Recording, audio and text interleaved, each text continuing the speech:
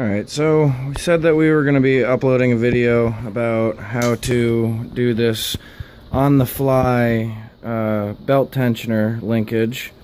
Uh, so right here, uh, you'll see we've got the handle and uh, everything set up from our old deck height adjustment.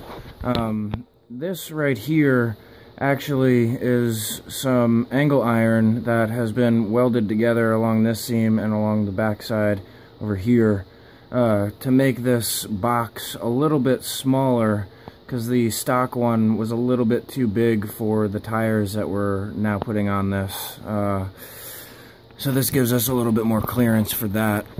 Uh, we went ahead and drilled out the holes in this for the levers and the bolt down here. As you can see, there's a washer right behind that to keep it moving. Uh, this was also a big piece of the deck height adjustment. Uh, we left that. It used to go across to the other side here and connect, uh, had a bar going across it. Uh, eliminated that. Uh, reason we left this piece here on this spring is so that it will actually lock into the channels that are on the body for the deck height. So we actually have uh, numbers there for you to see what number you're set at for how tight your belt is. Um, so here is, again, a piece of angle iron cut along the top to make it flat. Uh, over here, cut out a channel, welded it together so that we get a nice connection and joint here. Uh, underneath, uh, you should be able to see here, uh, this bolt here is what holds this piece up here onto the frame, and that's our pivot point for our pulley right here. Uh, if you want to give that a little movement there, you can see how it just kind of moves in.